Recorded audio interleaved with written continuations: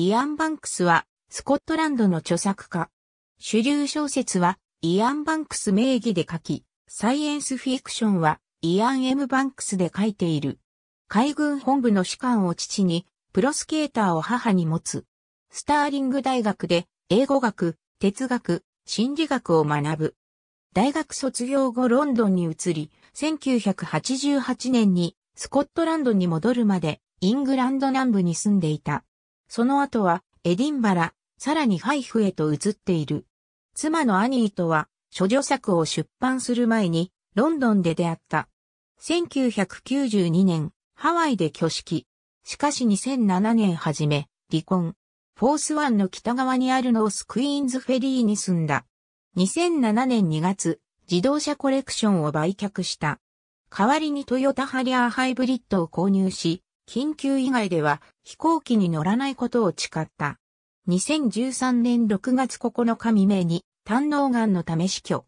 友人の作家であるケンマクラウドと同様、彼の作品には左翼的で騎士感が色濃く意識されている。潤沢経済によってアナキズムやアドホクラシーが実現されるという、その主張はこれまで実証されたことはないが、思考実験として多くの人を引きつける。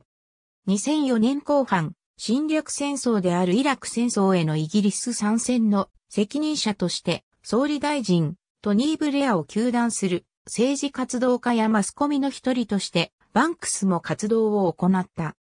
抗議活動として彼はダウニング街10番地で自身のパスポートを裁断するというパフォーマンスを演じた。ソシアリストレビュー誌のインタビューによると彼がこれをしたのはファイフ海軍工廠の門に自分のランドローバーで突っ込もうと思っていたんだが、マシンガンで武装した兵がいるのを見てやめた後のことで、あるという。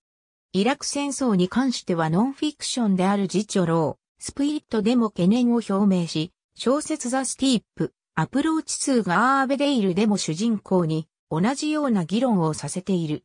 バンクスは National Secular Society の名誉会員であり、Humanist Society of Scotland の特別サポーターでもある。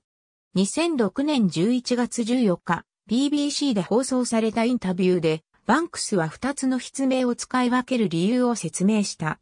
両親はイアン・メンジーズ・バンクスと名付けたのだが、父親が出生届を出す時に誤って、イアン・バンクスと届け出てしまった。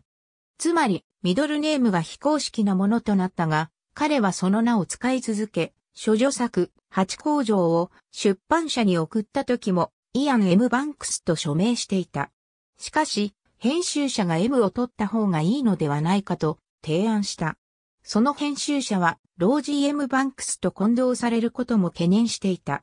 主流文学を3作出版した後で、最初の SF 作品 Consider Phlebas が出版されることになった。この時、主流小説と SF 小説を区別するため、バンクスの方から M を復活させることを提案した。もっとも、彼は全く別の筆名も考えていた。